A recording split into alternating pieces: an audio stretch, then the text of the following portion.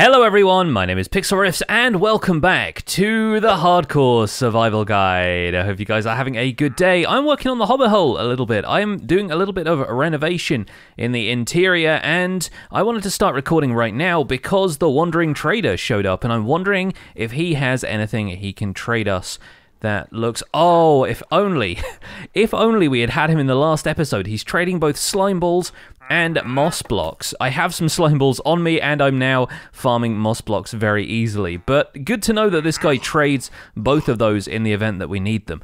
I was hoping he would have some drip leaf, because in 1.17, since lush caves aren't going to be implemented until the next update, the Wandering Trader is the only source of drip leaf, which is a plant you can only get in lush caves growing in damp environments with lakes and clay around and that kind of thing. So I was hoping to get hold of some of that because I haven't worked with it yet. I'm really excited to work with it at some point. But anyway, I've been farming azalea trees a little bit over here, and I'm kind of of the opinion now that azalea is a better way to farm oak than oak itself is. And let me explain while I trade for another diamond axe. Here we go, our weaponsmith friend will sell me an unbreaking one axe, and I just got 30 levels from trading, so we can potentially resurrect the enchantment setup inside of the hobbit hole and re-enchant this one. Let's see now. Efficiency 4, Unbreaking 3. Perfect. Perfect working axe. So here's the deal with Azalea versus Oak, and here is why I think Azalea ends up being a superior tree. For a start, if we plant an oak sapling, the average oak sapling is going to give us maybe 4 or 5 blocks of oak wood and also just took five bone meal to grow. And that's obviously not an exact thing. Oak can grow very quickly. It can also grow a little bit slower. So if you're using bone meal to farm oak wood, you can probably expect to spend on average about four to five bone meal per tree, right? Whereas azalea, I have noticed, grows very quickly. If I just bone meal this a couple of times, the first one there took 5 bone meal to grow, the second one took only 1. So I think on average I've been noticing, this may just be anecdotal, but I've been noticing Azalea grows a little bit faster. Not only that, but it provides a bit more oak wood. The Azalea tree's shape means that it has a branch of oak that always goes out in one direction or the other, and in my experience that tends to provide 7 to 8 oak wood per tree. So while I would love Azalea to have its own unique wood, right now it is a better way of farming oak. It's worth taking into account that oak trees don't always grow in the same same size and shape, sometimes they grow larger variants, which honestly I think a lot of people just find a pain to chop down. Those taller oak trees, like the ones that grow on plains biomes, just tend to be a bit of a mess and they're full of leaves and not a huge amount of extra oak wood. Whereas I think azaleas are just a nice compact size that doesn't require you to, you know, pillar up and shear a ton of leaves to get to the rest of the oak wood.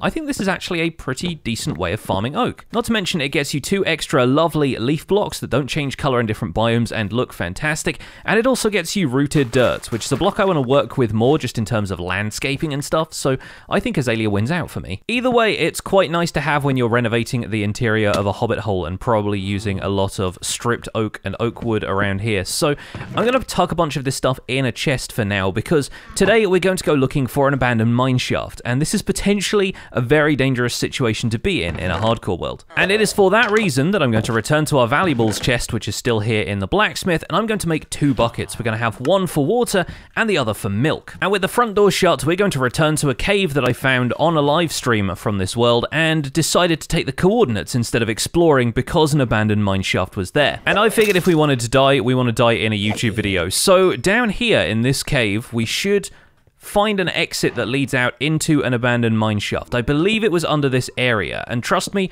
I know that my shield is looking low on durability right now. That's kind of why I'm trying to get these mobs to fight each other. There we go. So now I can uh, focus on gathering a little bit more iron from around here, smelt that quickly, and make myself a shield. There we go, we'll keep the spare one in the inventory for now, but we've got a fresh shield all ready to go, and I guess we'll wait for the rest of this iron to finish smelting before we move on. But down here, somewhere underneath this area, we should find ourselves in the abandoned mine shaft. Well, there's a different cave entrance to it, it turns out, but there it is, very mineshaft, much abandoned. Now, I need to get down there safely for one thing, and then I need to be on my guard for cave spiders. Having lit up the area up here, I'm going to place a bucket of water down there, which isn't going to flow towards the lava, unfortunately, because of the way this cave is generated. And just for the sake of safety, I'm going to block off this lava source, just in case I wander into that, but I'm also going to place three torches on the wall going upwards to indicate that that is our exit. And I think a column of water is fairly obvious obvious that way, but you never know. I've also crafted myself some shears so that we can take care of cobwebs, because cobwebs are going to get in our way a fair amount down here, and I want to keep them for future builds if we even get that far. Now, the regular mobs like creepers and so forth are going to be around here, and I'm just going to deal with them like normal, but if we encounter a cave spider spawner, I'm probably going to end up destroying it. Typically, the Minecraft community considers destroying a spawner kind of blasphemous because of its potential for use in an XP farm or a resource farm of some kind, but personally, I'm all in favor of destroying cave spider spawners. I don't tend to farm them all that much, and they are potentially. Oh, oh, nice geode location. I like that. Cave spider spawners are potentially the doom of your hardcore world because cave spiders inflict poison, and poison is not a status effect you want, getting you down to half a heart and then a skeleton's arrow finishing you off. Seriously, this is incredible. I love that geodes and abandoned mineshafts can intersect like this. It makes for such a cool atmosphere when you're exploring. And this looks like a massive geode too. Seriously, I want to excavate this or something. I want to do something with this. This is this is absolutely awesome. And seeing the cross section of a geode in a tunnel like this is just brilliant. I just love that so much. Okay, well, we're going to continue exploring the mineshaft, and one thing I've started doing is taking out single blocks from each of the corners when you reach an intersection of wooden planks like this, because not only can you then pick up the wooden planks and and uh, craft stuff with them, you can also see around the corners before a creeper walks out of one side tunnel and gets you. So I think a lot of the time it's going to be safest to destroy these first. The mineshaft even comes out onto the bottom level down here, and yeah, this is is this is two geodes side by side. That's amazing. I'd never noticed that they could generate this close to each other. The wall of one geode basically forms the wall of another. That's wild. Okay, I'm I'm bookmarking this location. I'm saving the coordinates for this. We have to come back and do something with this. But what I'm mainly looking for is these. Mineshaft loot chests now have the possibility, although this one did not, of containing glowberries, another one of the lush cave blocks that is missing from world generation in Minecraft 1.17 and is going to be added a little bit later. But mineshaft chests are currently the only place you can find those unless the Wandering Trader happens to have them, but I don't think he does. So we're going to be looking around here for abandoned mineshaft loot chests so that we can hopefully get hold of some glowberries to work with. And there we go. This is our nemesis, folks. This is what we did not want to find down here, and that is never a noise you want to hear in a hardcore world. Okay, right, we're going to drink our bucket of milk once I've gotten to safety here. And the other thing to make sure we do is eat so that we can, uh, yeah, replenish our health. Actually, we're not doing too badly from the poison. Let's see if, yeah, okay, it's not got too long. We can let it wear off. Okay, great. Now we don't want to get cornered near one of these cave spider spawners. If there are other mobs around, deal with them as swiftly as possible because, of course, the cave spider spawner is going to spawn more cave spiders, which means more chances of getting poisoned, more chances of getting hit, and more chances of dying and losing the world forever. So Stay on your guard around cave spider spawners. If you see a corridor full of webs like this, only go in if you're confident you can deal with it. And right now, I am pretty confident. We're going to light up the area as we go, and the cave spider spawner is a few blocks away. Every time we hear a spider, we can potentially block this off if we want to, but cave spiders will go through a one block tall gap, so that is a concern we're going to have to deal with. And from a distance, I'm going to break the cave spider spawner eliminating that as a threat. Now that cave spider there is going to get dealt with, and hopefully that was the only one that spawned around here. Yep, there's one up there on the ceiling. We can deal with him as well. We can take a second to listen out for any more noises, but it looks like the corridor ends here. You do need to be a little bit cautious in case there is another corridor immediately aligned with this that has even more webs. If the webs just continue, chances are there's another cave spider spawner down there. But I can breathe a sigh of relief at this point. That's that threat eliminated, and we got a bit of string out of it as well. We can spend some time gathering the cobwebs here. And with that taken care of, I'm going to pass back through the geode corridor because I love this so much. Uh, right, let's move on down the mine shaft. Let's see what else we can find, and let's keep our eyes peeled for some of those loot chests. Eventually, we are going to be grabbing some of the resources I see in the walls here as well. Don't worry, I'm not bypassing all of this iron and copper and good stuff, but I honestly like to go through an abandoned mineshaft first and light the entire thing up. Make sure I know the lay of the land and make sure any cave spider spawners are disabled so that when we mine into the walls, we're not turning our backs on any threats from the surrounding environment. And guys like this can't sneak up on us. Well, you can still block poisonous attacks with a shield, so if we use our shield sparingly, we don't have to worry about getting poisoned at all. But oh boy, that's going to be it's going to be a little bit tricky to deal with that if there's another cave spider spawner around here. And cave spiders do not spawn naturally. They won't end up spawning in caves or abandoned mine shafts without a spawner being nearby. So if you're seeing cave spiders and you haven't spotted a spawner yet, keep looking because there will be one and you probably want to take care of it. In this case, it looks like it's actually been blocked off by some generation from another mine shaft. So I think we have one down here by the looks of things, and I'm going to stay clear of it for the moment. But if we're lucky, it might actually have been blocked off. And that one cave spider we found may have just spawned in a dark space in an adjacent corridor. Nope, there's one there. Okay, cool. Let's back off a little bit here. Let's use our sword and shield sparingly and get into the corner, make sure there are no threats, wait for the poison to subside, and heal up. Haven't needed to use the bucket of milk yet, which is good. Poison has worn off, and we can block it up here. Okay, right, there's the spawner. Good. We can break that now, and we can deal with the rest of these guys using a bow. There we go, we got one. I don't know if there's going to be any more, but I'm just going to start breaking cobwebs and making sure that our paths are clear up here. Now, I'm still hearing a few spider noises around here, which may be cave spiders or maybe regular ones, but I think we're in the clear for the moment. We've destroyed two spawners, which means two fewer chances of cave spiders ambushing us, and there's a lot of zombies around in these neighboring caves, but those seem to lead away from the mineshaft, and we are here for the loot. I can hear a bunch of spiders somewhere nearby, which means potentially that we're above or below another spawner. I'm going to have to play this a little bit carefully. Yeah, that leads down. I'm expecting that's going to lead us to another cave spider spawner. So I'm going to have sword, bow, and shield at the ready and dig our way down here. Okay, we have another cave spider situation. Let's wait for it to attack us. Have the shield up, no harm done. Very good. There are a couple of zombies around here, it sounds like, and I'm seeing a few more clusters of webs that make me wonder if there's another cave spider spawner around here. I think I saw one drop down from this direction, but I'm going to try and play it a little bit safe here and back off to a location that I know what I'm doing. Another useful tip in mineshafts is to take advantage of the fact that mobs AI doesn't want to take them walking over rails. That's really a quality of life thing to make sure mobs don't walk on your minecart rails while you've got a long minecart set up, but in this case, Abandoned mineshafts generating rails in them means that mobs like this won't walk over them, so you can keep them at range if you need to. I am still hearing a ton of spider noises from around here though, which means potentially we have another cave spider spawner, or even a regular spider spawner, encased in stone somewhere around here, and I am kind of hesitant to let it out. Occasionally, of course, the spider noises you hear may just be regular spiders that have spawned in here, because that still happens, but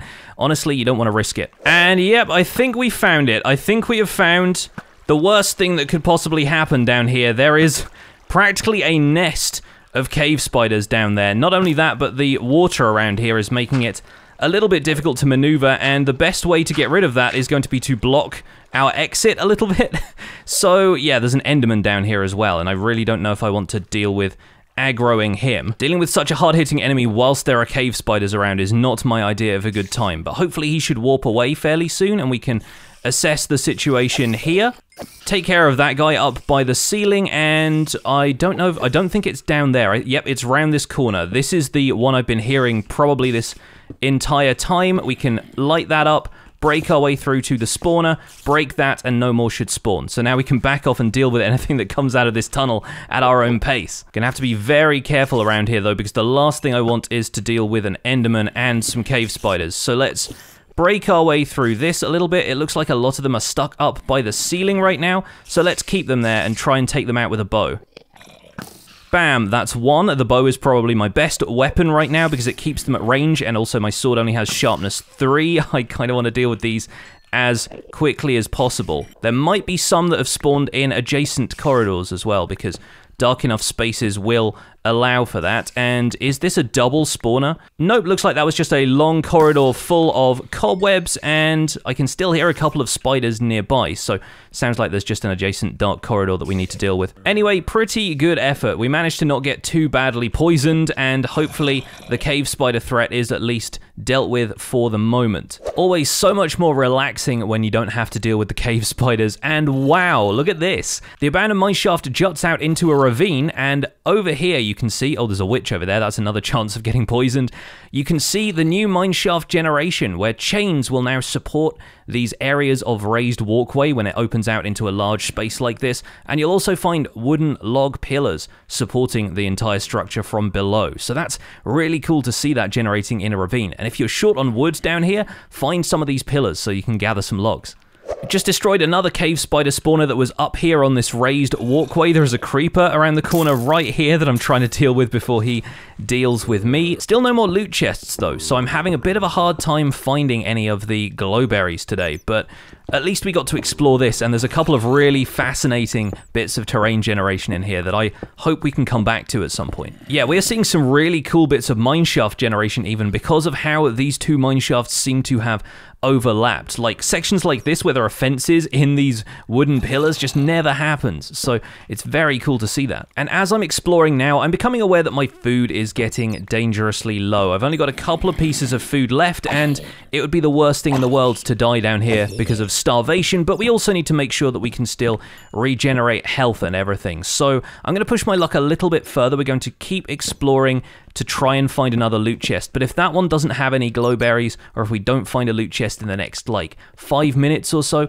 I think we're probably going to head home cut our losses, and see if we can explore another mine shaft that might have stuff. This one does have some dripstone though, and it might be worth gathering some of this right now. Let's see what I can throw out of my inventory. Got an infinity bow, we don't need the arrows, and let's throw some diorite and other decorative stone out of here if we can. Got some rotten flesh we don't really need, got some spider eyes we don't really need right now. Let's gather some of the dripstone from the edge of this ravine, and I think that's where I will leave it for now, but the ravine is very, very cool. I would like to come back to this and see if we can get some more resources from further down in the depths. Dealing with the occasional baby zombie down here as well, but they're not too much of a problem. All right, here's our shot at an abandoned mineshaft chest. This one is actually hovering on a piece of suspended rails, so if this one doesn't contain glowberries, then Oh, sad times. Okay, I think we're probably going to have to head home soon, although it did just give me a bit more bread, so mm, I don't know, maybe push our luck a little further. But I do love the fact that that's floating, that's very funny. And weirdly enough, we've come full circle on this section of the mine shaft. There's a lovely axolotl swimming in the water, and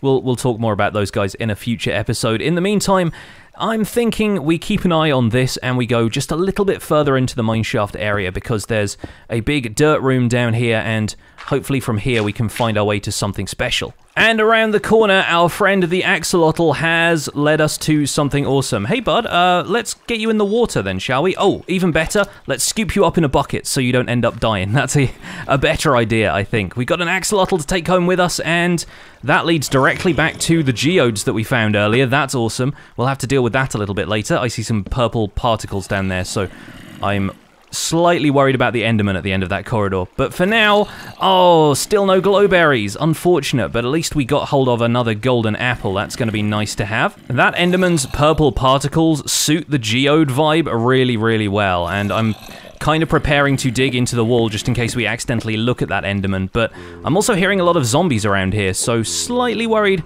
about what's just about to find us. Speaking of things that are about to find us, down by that creeper, we have another there we go, another set of webs which is going to lead to another cave spider spawner. So we got to play it very, very safe here, I think. There are tunnels to either side which I might block off temporarily to make sure that nothing can sneak up on us or down on us, as the case might be. And there we go, the cave spider comes in with the attack. We're gonna have to back off a little bit here to make sure we can get rid of the poison. And now we're back in bread-eating territory, I guess. Well, let's start to light up this corridor just so we don't end up getting ambushed by any more cave spiders. Let's light the spawner. I don't hear any more spider noises, and of course the skeletons are coming around the corner to get me. Man, I've now lost track of the amount of cave spider spawners we have broken, and it managed to spawn just one more before I could destroy the spawner for good, and of course I get poisoned, but hopefully we should be fine here. And it looks like all that might have been worth it because just around the corner we have an abandoned mineshaft chest and finally we get our glowberries. Well, of course, I'm going to try and secure the area here first before I do any more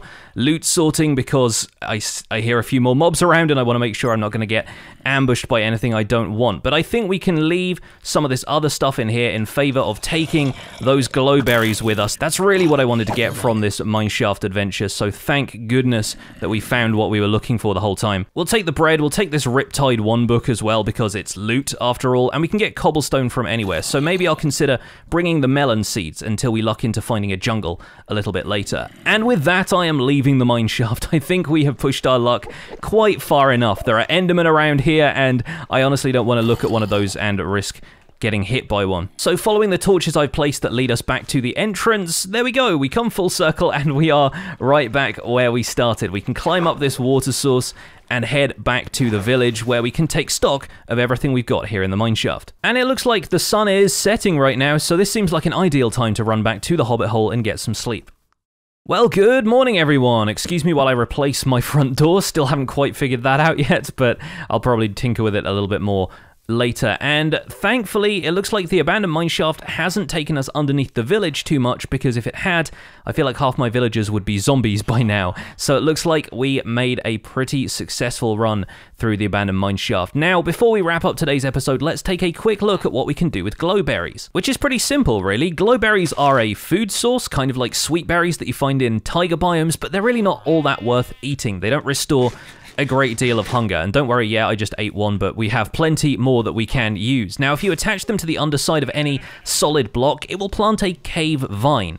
And the cave vines are kind of like regular vines in that you can't bone meal them in order to grow them. Instead, what you get when you bone meal them is glowberries growing right there on the vine. And if we right click that one more time, the glowberry pops off and we get to pick it up. So naturally, if you stand here and spam bone meal underneath one of these things, you'll end up farming glowberries pretty quickly. See, now we have eight. So just finding one small bunch in an abandoned mineshaft chest will allow you to farm them permanently. Much like other types of vines, these vines will naturally grow as well, but you can grow them artificially if you want to by placing another glowberry attached to the underside of the vine block, and that can allow you to play with them a little bit aesthetically if you want to. If we press the F3 button, you'll see that on the right hand side underneath Minecraft cave underscore vines, it says age 5. And this is an age mechanic that works similarly to how kelp works, where if you have a vine which has the age of 25, it no longer grows. Each time it grows a block, that age number increases on the tip of the plant. And if you have a plant that has reached age 25, it will no longer grow. But the number is randomized when you place the plant and when you break the plant. So if I break this cave vine here, you'll notice the age of that one is now 22. So it could only grow for three more blocks before it reached the point where it couldn't grow any further, even if there were no blocks underneath it, like there are here. As cave vines grow, they will naturally produce glowberries, and glowberries, as the name suggests, are also a light source. So if I wander on in here and take the torches off the walls for a second, we can plant some cave vines up here. We can have them hang down a little bit, and then if we bone meal them, like so, you'll see that lights up the environment around here a little bit. It's also interesting that the tip of the plant can grow fewer berries because it's a smaller portion of the plant, so technically speaking, that is not as useful a light source as this. Berries which grow further up the plant provide a higher light level than the ones on the tip of the plant, making it possible to kind of vary how well lit the environment around them is. But I think the best part about glowberries in general is that they're such a cool hanging vine. They have quite a 3D feel to them. They're quite dense in terms of the leaves and stuff that are in the vine texture. So I find them really nice for building lush environments with. And I think what I want to do is hang a couple of them underneath the eaves of our hobbit hole. So if I just place one over there and maybe we'll tuck one up in here as well and maybe we'll grow one just above the doorway and those are going to naturally grow over time but we can also monitor the age of them a little bit and see if we want to maybe grow one that's a little bit shorter. You could also place string underneath some of these if you wanted them to stop aging at a certain point, but there we go. That one's reached age 21, so it's probably going to grow down in front of the door a little bit. If we only wanted it to grow three blocks, you just got to keep breaking and placing glowberries here until it reaches age 23 or 24, and then it'll hang down nicely in front of the door frame here. Yeah, looking at it now, maybe I don't like that quite so much, but either way, we now have the option to farm glowberries using bone meals so we can use them wherever we want to. And I think that's been a pretty successful episode of the Hardcore Survival Guide. Thank you so much for watching this episode. I hope you enjoyed it. My name has been Pixlriffs. Please don't forget to leave a like on this video if you enjoyed it. Subscribe if you want to see more, and I'll see you guys soon. Take care. Bye for now.